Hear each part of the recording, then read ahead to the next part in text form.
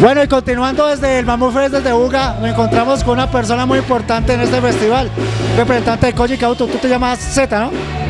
Eh, ¿Cómo están? Pues importantes somos todos. El público que asistió, los organizadores de Azor Rock, todos son importantes. Yo simplemente soy un músico y vengo acá al valle a pasármela bueno. Bueno, ¿qué te ha parecido lo que has visto al día de hoy acá en Buga? Me parece algo súper positivo para la escena rockera en general, o sea, que se pueda generar una asociación como Azor Rock Buga, deberíamos copiarlo en el resto del, país. Eh, bandas con excelente nivel, una producción impecable.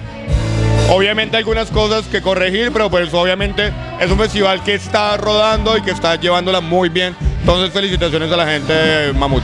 ¿Qué opinas que el día de hoy hayan representantes de el Manecel de Guitarro, de Rock al Parque, del Altavoz, de los eventos que se realizan en la ciudad de Cali hoy aquí en Buga, en el Mamut Reds? A mí me parece muy importante que se haya podido hacer una reunión de parceros porque básicamente todos somos ah, amigos entre todos. Nos conocemos de Rock al Parque, de distintos festivales, del Manizales, Guitar Rock, del Calibre, de la Cruzada, de muchos festivales poderlos reunir a todos. Altavoz está presente, Rock al Parque está presente, entonces que la gente esté aquí me parece que es muy importante y, da la importancia que se merece el festival como tal. ¿Qué piensas de la situación del rockero hoy en día en, el, en Colombia? La situación del rockero es muy difícil como en todas partes del mundo. Básicamente en Europa o en los Estados Unidos es donde el rock and roll tiene una real eh, potencia o un potencial fuerte.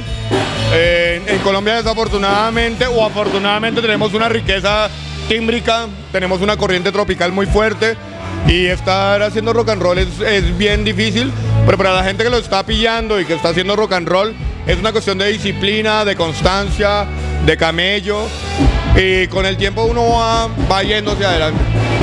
Nosotros los vimos hace dos años, en el 2009, en el Cali del 2009, eh, en Cali. ¿Qué puede esperar la gente que los va a ver esta noche acá como público y las que los va a ver por, los, por las cámaras de, Global Televisión de Antares el mejor rock? Pues pueden esperarlo de siempre, es una sinergia con el público, una explosión de fuerza en la tarima, un exorcismo de todos esos demonios eternos eh, internos que tenemos todos y los ponemos en tarima y los ponemos a que la gente los saque. Estamos, eh, pueden esperar un show mucho más potente que el que vieron en el, en el Cali Underground hace unos años. Ya venimos con todo, estamos armados, esperen DVD pronto también de Coyicauta. Muchas gracias. No, vos, muchas gracias.